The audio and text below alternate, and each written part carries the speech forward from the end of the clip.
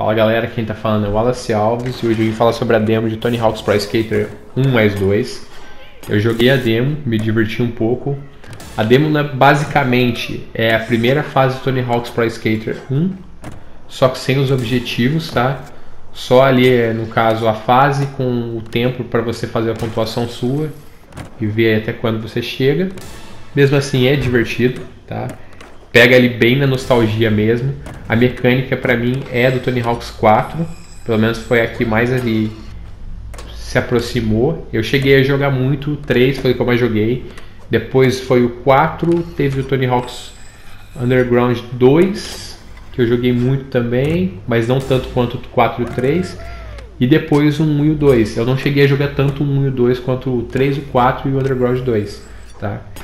Então, tipo assim, eu tenho parâmetros para falar porque eu zerei o 1 e o 2, mas os parâmetros mesmo são mais de, do 3 e do 4. É um jogo totalmente arcade, na minha opinião, tá? E é muito bom isso pra mim, porque o arcade ele primora pela diversão, e pra mim um jogo tem que ser divertido em primeiro lugar. Tem alguns jogos aí que eu tenho jogado ultimamente que são muito realistas e pra mim não são tão divertidos quanto alguns jogos arcades. Um jogo que para mim foi o mais arcade que saiu ultimamente, nesse ano, foi o Ghost of Tsushima. É um jogo extremamente divertido, na minha opinião.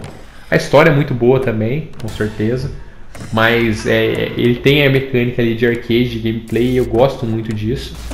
Não tem vergonha de ser arcade, tá? E o Tony Hawks também tem isso. É um jogo que quando lançou era inovador, agora não tem mais nada de inovação.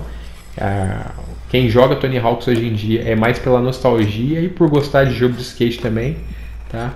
Uma pegada assim, bem surrealista, porque não, as manobras, apesar das manobras fazerem sentido, a forma como ele faz, a facilidade que ele faz as manobras não faz sentido nenhum.